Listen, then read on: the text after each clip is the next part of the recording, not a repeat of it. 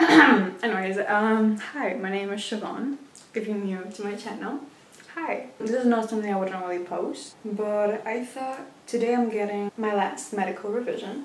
So why not share? And if I come back crying, well, more and more interesting. It's more, more content. Guys, you may be wondering, what are you talking about? Are you sick? I'm not sick. Um, but I have something called scoliosis. I know, bummer. If you don't know what scoliosis is, it's basically when your spine isn't straight, to say it very widely, it has curves that could not benefit your health in the long run. This is gonna be like a chit chat, so if you're interested, I remember when I first got the news, which was like four years ago. When I got the news, I felt very like alone in the process just because you don't, it's not something that's very heard of. So I thought if there's someone out there who can benefit from this video, that's the least I could do. I found out I had scoliosis when I was finishing sixth, which would be when I was like 12. That's when I found out I had scoliosis and I really didn't think much of it, it was like normal. They didn't exactly tell me like how bad it was, it just said, oh yeah, you have scoliosis. So like five months later, they called me from the hospital and they were like, you have to make your, you have to take your x-rays. And like a few days later, they were like, it's quite bad. So I went there and they showed me like the x-rays and I had a curvature of, I'm pretty sure 18. So I went there and they were like, yeah, you're probably gonna have to get a back brace. Which if you don't know what a back brace is, let me show you. That's a back brace. It's a pain in the ass, really. They said like, yeah, you're probably gonna have to get a back brace. I didn't really think much of it because I was kind of just in shock. But I remember like them telling me, oh yeah, you're probably not gonna be able to do like some sports. You're gonna have to go swimming and and this is gonna suck. And I was like, cool, cool, cool, cool, cool. And I obviously cried. Again, like I didn't really know what it was. I was like, okay, a back brace. I had never seen one in my life. I thought it was just gonna be like a corset, you know, like a very like like it ties around your wait wait. Like it ties around your waist and that's it. Like there's not much complication.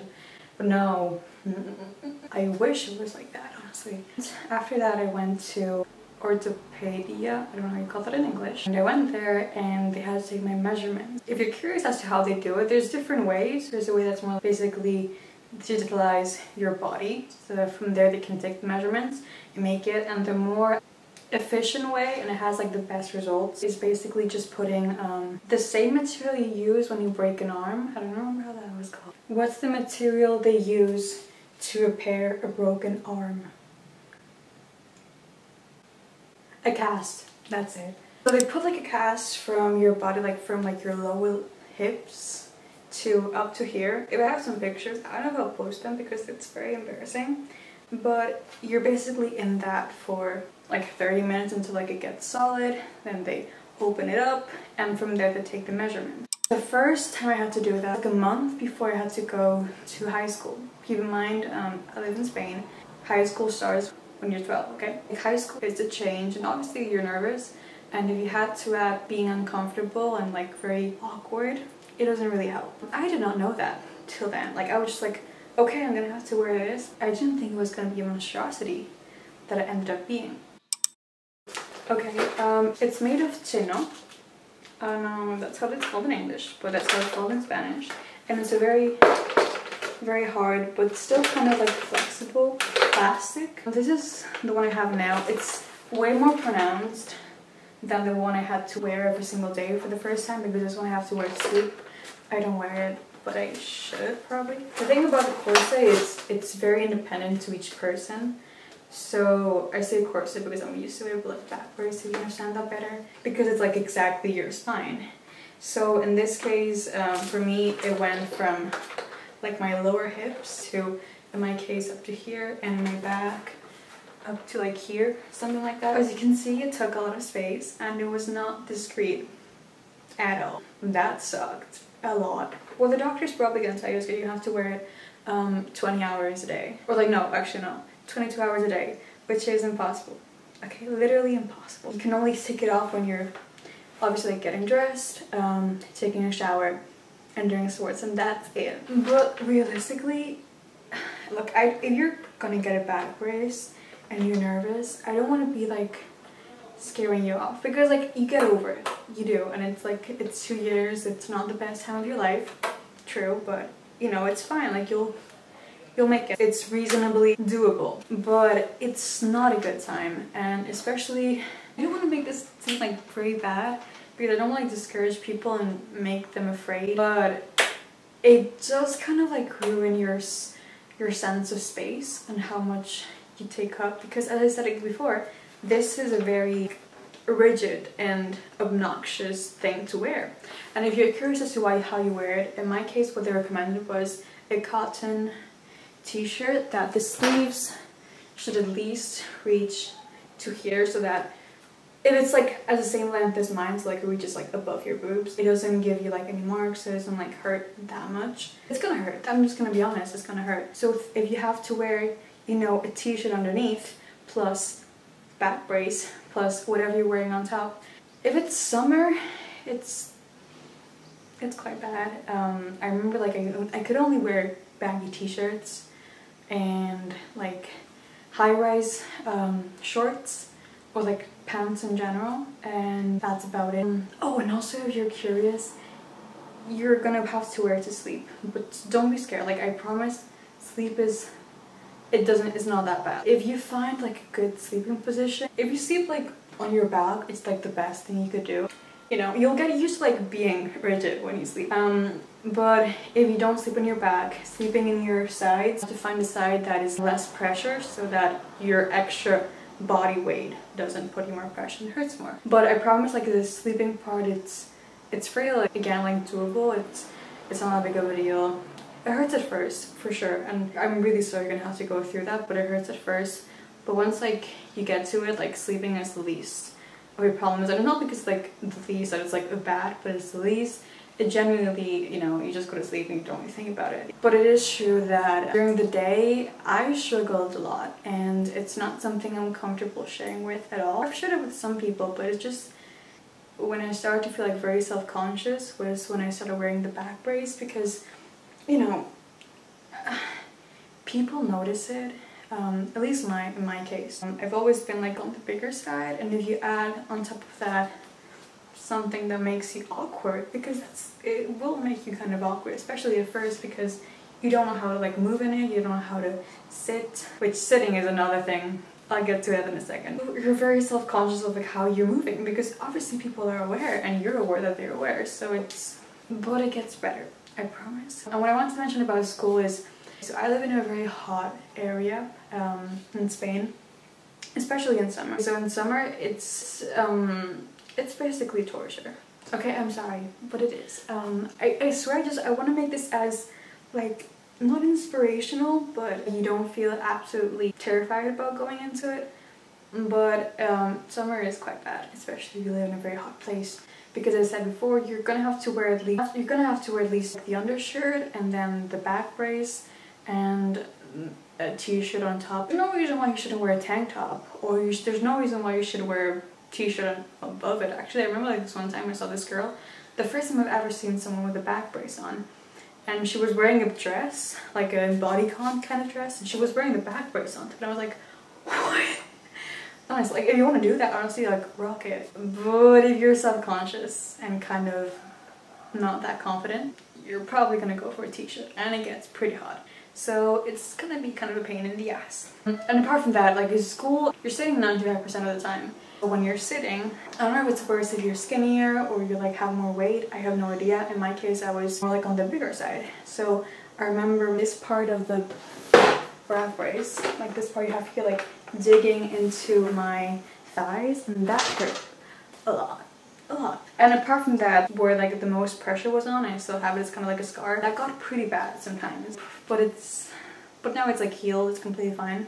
Something that really affected me as a consequence to having to wear the back brace was um, my mental health. Like I discovered what mental health was when that happened. Because I think as I mentioned before unless you have an extremely good support system or like your self-esteem is super good. If that's not your case, you will probably not feel the most confident. And in my case especially, I was starting to be a teenager at the time. So obviously, you know, that was probably the most crucial parts in like building up that confidence and having to wear that back brace really made things go very slowly, if not backwards. You know, as I mentioned before, you become so self-conscious of your body.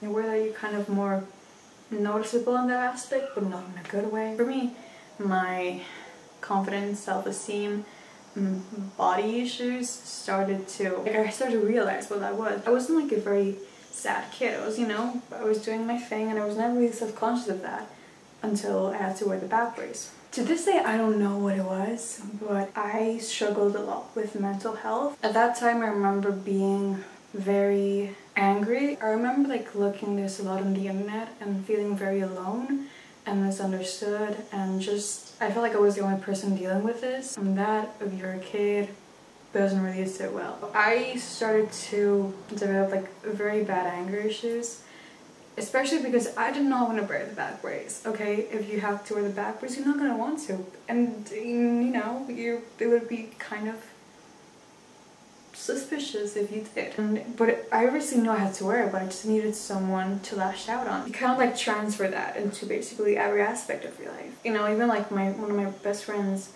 like to this day, like she's always like, yeah, no, like you were very, I was angry, I was sad, I was just, I just don't wish it upon anyone, to be honest. Really the reason why I wanted this video is because if you are going through something similar, Maybe it's not the back brace. I needed it to make a video, even if it's just no one's gonna see it. That's fine with me. But if one person sees it and like they kind of feel like more understood or just helps in any way, I really would like that and I think I would have appreciated that. Actually one person, her name's Rachel Cantu or something like that. And I remember like looking back brace, stuff like that and she came up and she was like she was very real with it so she was like this thing fucking sucks. And at that you know at that point you're not really looking for anyone to pity you although maybe that would be nice. Just looking for someone to understand you and like even if it's not gonna help in cheering you up just making you feel seen. You know you're not the only one who's going through that and i'm not saying it's good. I'm not saying it's something that's gonna be nice or it's gonna be pleasant but knowing that you're not the only person who's gonna go through that is kind of reassuring.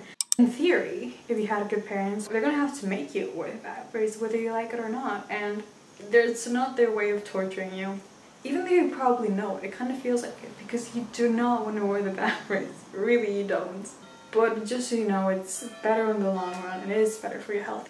When you're 12, you don't really want to accept that, and you're like, no thank you. I'm fine. Like i remember even saying this like you're probably getting a back brace you already know this but it's either wearing the back brace or doing nothing and potentially having to go to surgery. I remember saying this so much. It was like i don't give a fuck. Like i prefer to go to surgery and not have to like suffer like through two years. And like it may kind of make sense but um, I've never had to do had any surgery in my life but if you can avoid surgery do it at all costs. Coming from someone who's been through it and who's been through it kind of harshly and who would kind of die if they had to do it again. Um, I promise it's not worth getting surgery done because, you know, surgery is a very unnatural procedure and it's something that is to affect negatively in the future because it's not something that your body is supposed to go through. If it helps and if it will change your mind, don't go through surgery. I, I promise, I promise it's not gonna, it's not gonna and at the end of the day, like, it finishes. If you're programmed to have it three years, may look like a lot. And I'm not gonna say it isn't. Three years, it's it's a lot of days, but you get over it. It goes away. I just, I promise, I really do, that you'll kind of laugh at it afterwards, cry at it maybe sometimes, but just always keep in mind that it's, no one is doing it just because they hate you or everybody who's like trying to make you wear the back brace isn't against you and they aren't trying to make you suffer every single day. Also, if you're kind of like mad at some of your friends for not being the most understanding, like I felt like that a lot because I wasn't gonna be with my friend, like I remember like complaining sometimes like some of my friends, they'd be like, like what really what can you say when you don't know anything about it? But i remember being very like mad at them for not understanding it. So you can talk to someone if you know you have like a very good friend that you can just confide in. And they, they won't understand. If you haven't worn a back brace, they won't understand what you're going through. Realistically, they won't. Ranting helps. Don't let yourself become so mean and lash out on people who had nothing to do with it. I actually have to be in the hospital like in 15 minutes for the last x-ray I have to do. Um, hopefully it's good news. So I'll finish this section here. So stick around if you want to see if I want to find out if I get that off my back. Literally.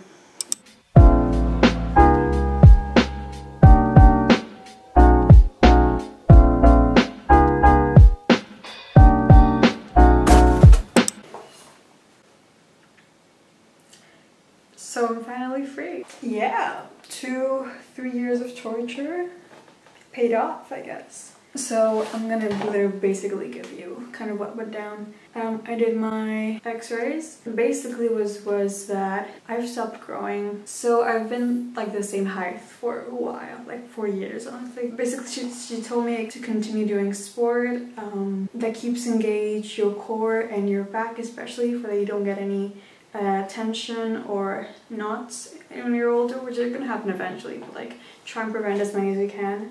Overall, yeah, I was very happy. I was expecting it, I'm not gonna lie, because it's been a while. And if it didn't actually say I was done, I would probably would have cried, like a lot. Thankfully, I'm done. And I'm very excited. I don't have any back brace in my room laying around. I finally got rid of it.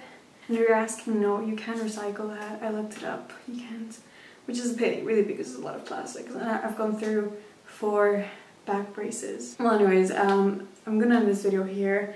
If it was useful for anyone, that would be amazing. Obviously, like, I'm guessing you're watching this because you are interested in it. If you've just been told you have to wear a back brace or anything like that, I promise there is light at the end of the tunnel and it's not the best and even if you want to talk about it or you want to like rant my DMs are always open um, so yeah I really I really really hope someone feels more seen and understood with this video.